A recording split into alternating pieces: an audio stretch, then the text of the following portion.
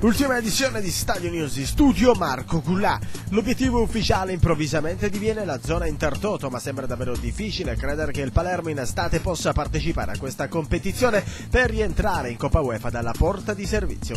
Allora, bisogna capire cosa vuole fare il Palermo in queste ultime giornate. Sabato c'è la Fiorentina all'Artemio Franchi, una gara sentita, ma soprattutto da parte dei Viola che devono consolidare la loro posizione in zona Champions League. Il Palermo cosa intende fare?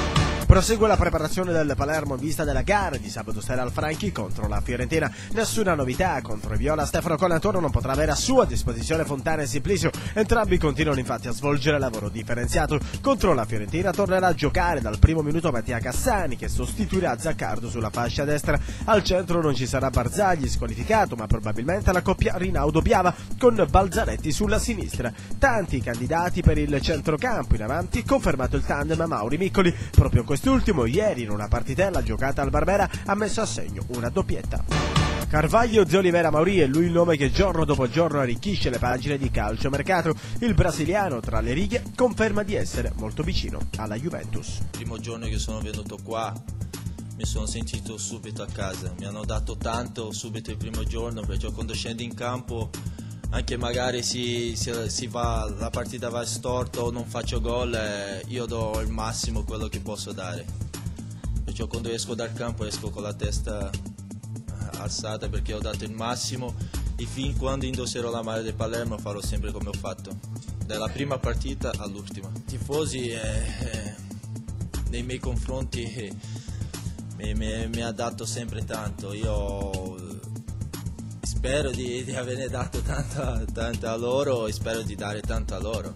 Che adesso si parlano tanto, però adesso ancora non è finita niente, non è niente di finito. Se un giorno andrò via da Palermo, l'unico rammarico è di non aver, eh, come posso dire, non, non dico ho vinto qualcosa, però non aver raggiunto l'obiettivo che era quello di andare in Champions League.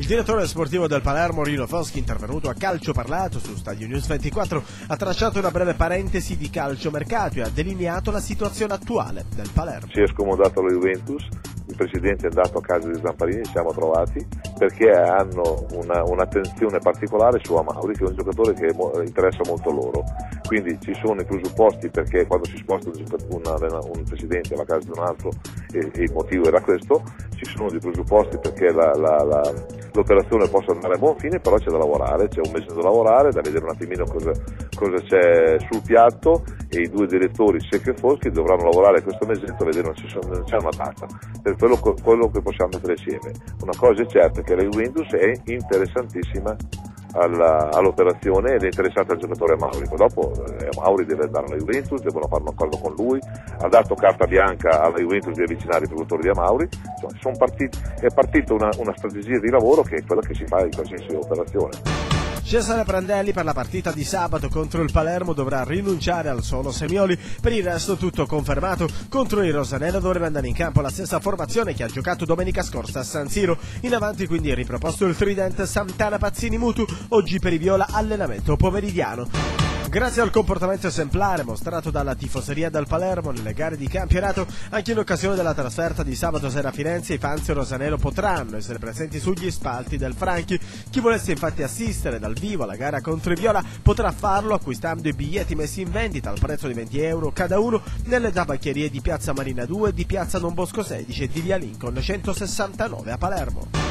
Per la nota agenzia di scommesse Cursal Bookmaker, la Fiorentina è favorita sul Palermo nella gara in programma sabato sera al Franchi. Il successo dei Viole è quotato a 1.50, il pareggio a 3.50, la vittoria dei Rosanero a 8. Per tutte le altre notizie stadionews.it.